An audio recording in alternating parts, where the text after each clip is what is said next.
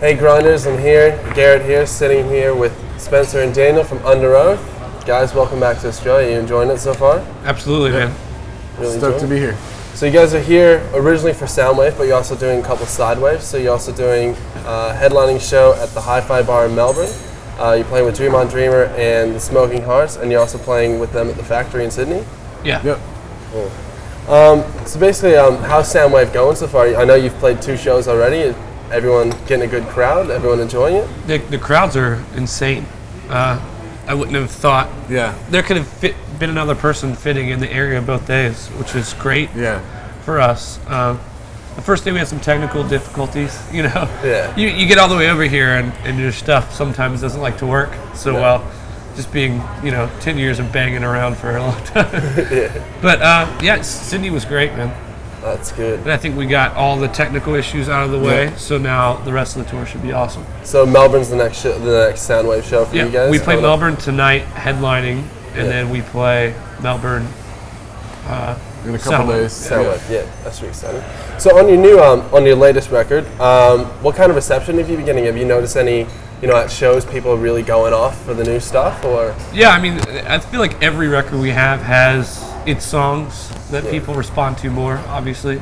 And I, I just feel like it's because there's videos for them, you know. Mm. Um, but yeah, we, we try to play the songs people want to hear off all the records, even though there's ones that we might like more. I think, at least on this tour, we're kind of trying to play more songs that you know, just to make our fans happy because we, we don't get to come over here all the time, and we're going to Asia after this to places we've never been, and we just felt like this tour maybe will make the set list a little less about us. Yeah, playing playing a bunch of old stuff, and and because the at Soundwave the set is fairly short, shorter than what we're used to, we have to be very selective about the songs that we play. it's two so, two songs off each record. yeah.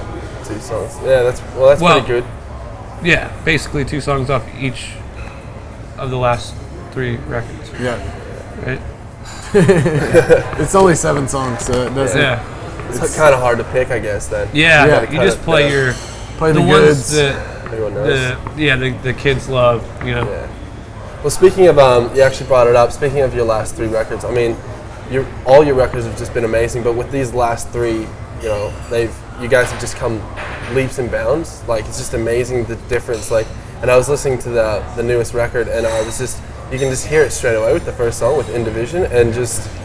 I mean, especially you, your vocals, man, they've just gone insane. And Thank you. Do you think it's because you've gotten, you know, all the creative controls gone your way now when it comes Um, to that? No, I just think as we get older, you know, like I think it's y you try to outdo yourself every time. I feel like that's that's kind of how I've always been as a singer or a songwriter or a guitar player even. And I feel like that's kind of been a goal with Underoath. We Yeah. We're even talking about writing stuff right now, and it's just it's like if it's not better than what we did before, then Why do it? yeah, why do it? Yeah. So we push ourselves pretty hard, uh, take it pretty serious, you know, while still having fun. That's it. And um, you know, I gotta say, man, like I love the new record, but Paper Lung has just got me. Like it's it's weird. Like I keep listening to it, and That's every time I listen to it, people yeah, it yeah. just it just hits me. Like it's so, it's like dark and eerie, but at the same time it's beautiful. And then Yeah. when you come in towards the end with those screamings, it's Yeah. screams. It's just unreal. It's just like perfection in that one song. That's one of my favorites on Yeah, the record as well. I love But it. to back up a little bit, it's four records we're playing off of, right? Yes. I said three, I meant four. four. Okay. That's all right. From chasing songs. safety all the way to disambiguation. Yeah. Beautiful. And um, you know, Dano, you were originally well, you came from Norma Jean. How, how do you feel with the transition? Did, was it a little hard coming into a band that's pretty well established, or was it just you guys just clicked straight Yeah, away? we clicked. We'd been friends for a long time. We kind of Yeah. grew up together, playing, touring together like 10 years ago. We So- actually used to open up for Norma Jean all the time. Norma Jean. So yeah, we were we had been good friends for a long time, and uh, when they called, it wasn't. Yeah, I just can't. They called me, and I was down in Florida like two or three days later practicing, and within the first couple days, we were like already clicked. It felt great, and And so the whole because I was going to ask yeah, about the we just- recording process. Did just We just immediately started writing songs. yeah, like we didn't worry about oh, do you know these old songs? We didn't Yeah. even rehearse Like- one old song until before we went on tour. Yeah. We had to. We, it was went straight to writing From the first day I got there, it was like writing the new record, and we spent the next six, five or six weeks together writing, had a day or two off, went straight into the studio, recorded the record, day or two off, and straight on my first tour. That's awesome. so, Like that's that's really good when things work out that way. Um, I'll get to a couple fun questions. Might as well have some fun ones.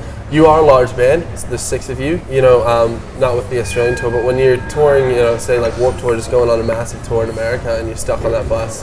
Does th- do things get a little crazy with you guys? Does anyone get cabin fever?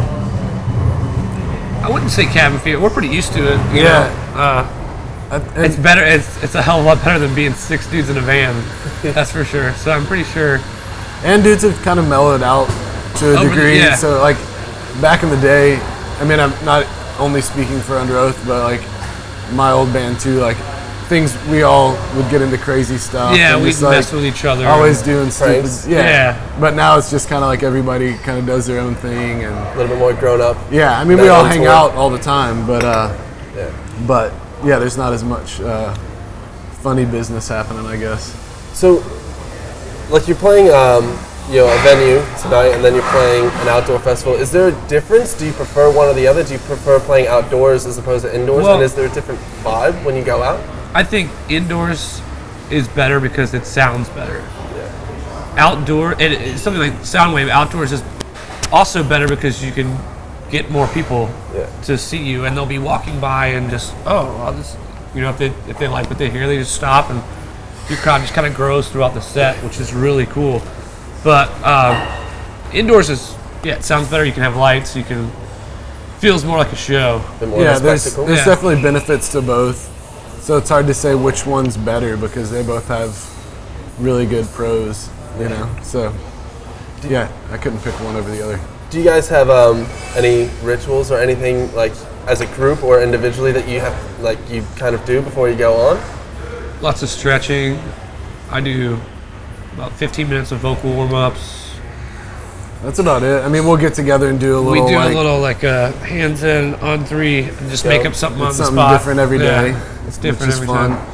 We actually didn't do that in uh, Brisbane, Brisbane because everything was so messed up. yeah, we we started 15 minutes late and Had to cut our set in half, which Yeah. was already 30 minutes long. So we we played like three songs. Yeah, that was crazy, but Did it go all right though? Everything. went yeah, I mean, Everything was we had no monitors or anything, so we had no idea what we were doing. it but went we as went good with as it possibly could. Yeah, That's it. with all with all the difficulties. The toughest show I've probably done in 10 years. that's the toughest show. Yeah, it was just everything, nothing worked. You know.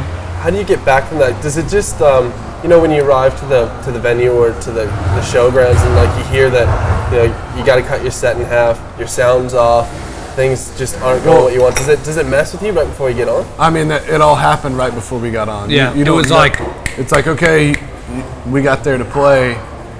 Ten minutes before we were going to go on, they're like, "Oh, the monitors aren't working. Oh, this and that and this," and they kept trying to fix it. And then it came three o'clock when we were supposed to go on. They're still frantically trying to get everything together. Fifteen minutes later, we're like, "We just have to play. We don't care what's working, what's not," and got out there and did a couple songs. Yeah, we just had to go with it. You know. I mean, there's nothing you can do, so you can't let it like bum you out for very long. Might as well keep the kids happy. Get Yeah. something. But how do you how do you decide what you know what songs you get to play? we we didn't really. We just kind of went out there and It was on the fly. yeah, it was just on the fly. We just we had a set the set list we were supposed to play. and We were just like We were like, okay, we, we have guitar changes because of different tunings, and basically the guitar that was working, we just picked three songs that was in that tuning, and we just went with it. That's it. but it was fine. Yeah. it was good. Well, um, you know, 2012 is supposed to go down in history as the big year. What's uh, what are the plans for Underoath? Any any plans to get back in the studio anytime soon, or Yeah, uh, I think we're supposed to be writing a little bit soon. Yeah, Um, we've got some touring for the next little bit, so we're I think when that's all done, we'll come home and start getting back to it. yeah, we're doing South America in May, and then some random like one-offs around the U.S. Um, and in that time, we'll probably in the summer get back into the practice space and write. well, guys, thanks for joining us, and Yeah. um, good luck with the rest of the year. Good luck with the rest of the tour. Hope it works out for you. Yeah, thanks you. a lot. No problem.